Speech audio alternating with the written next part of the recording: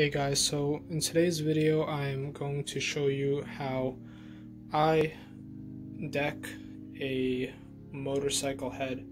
This particular head is from a RMK 800. It's a, as you can see, two-cylinder Rotax motor. Comes in a snowmobile, but some reasons for as why you would need to deck your head would be um, that you overheated your engine and your head is slightly warped. Another reason people deck their heads is to gain some compression um, by reducing the volume inside the combustion area in the cylinder dome. So first thing I did is I already went ahead, cleaned the surface and I machined these little areas flat as they can be with the top surface of the head so we have a known uh, datum from which we can work from. Um, next what I'm going to do is I'm going to use my height stand here with my um, dial indicator and I'm going to check the flatness of this head to see if, um, well, roughly how much material needs to be, be removed. In this case, the customer wants to gain some power in his engine by increasing his compression. So we're going to do that, but just as good practice, I'm going to see where we are working. Now I have my dial indicator set at zero and it's a little bit tough to do with one hand, but I'm going to move this head, which is standing on this granite table. Um, it's a good surface, a must have in any machine shop to measure from. And since the, the as you can see,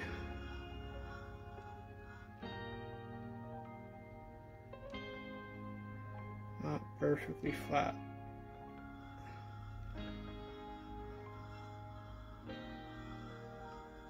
The y-axis. Um,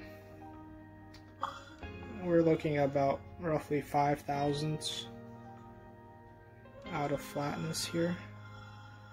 And um, off camera I'll do a more thorough check, but just to show you guys as a rough example how we go about this.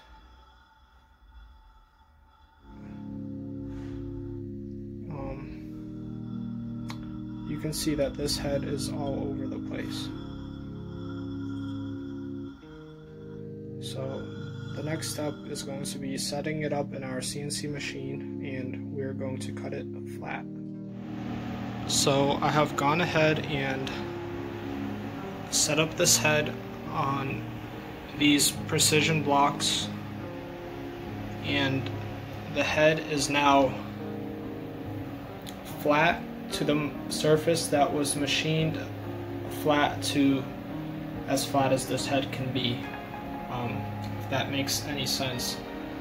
Um, in this type of situation, I don't have specialized fixturing for heads, so you have to kind of get creative with holding it.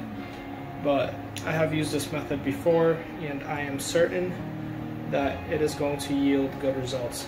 Anyways, I have now set up the indicator inside the machine which will basically tell us the same thing as I have gotten at the granite table but this is um, the best method in this scenario because this is the way it's going to get machined. So I'm going to move it now along the y-axis and you all will be able to see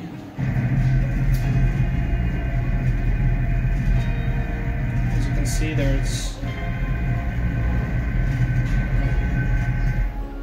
roughly you know minus 3000 plus 3000 along the Y and we can move it along the x-axis.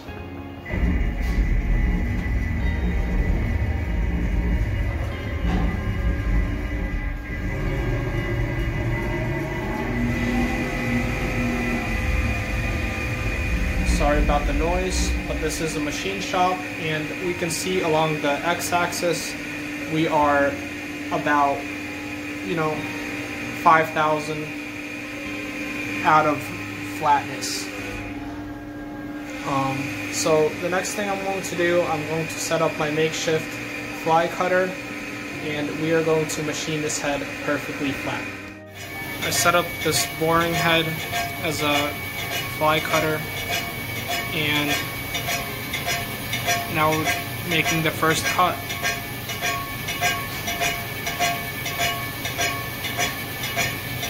Just completed the first cut and it makes for a great visual of how warped this head was.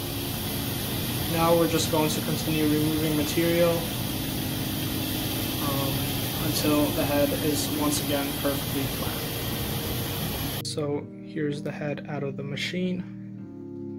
Looks good. What's most important is that we are at zero all the way across and all the way up which we are um, but now the head is ready to be assembled back together in the engine and it will partially work to restore the compression once had with no leaks and a perfect mating surface. Um, so this is my video how to I guess on how to resurface a cylinder head. Process varies of course, all heads are designed differently, but you know, with a machine shop anything is possible. And considering that you of course need the correct tools. But if you can't do it yourself feel free to send it my way. I'll get it taken care of for you. And also stay tuned guys. I'm working on another video in which I rebuild a four stroke cylinder head and replace the valve seats, valve guides, and the entire valve train. I think it should be pretty interesting, I hope. Um, so yeah, thank you very much for watching. Hit the like button, subscribe, inquire about my services. I'd be happy to take care of any small engine needs for you guys. I appreciate it very much. Have a blessed day.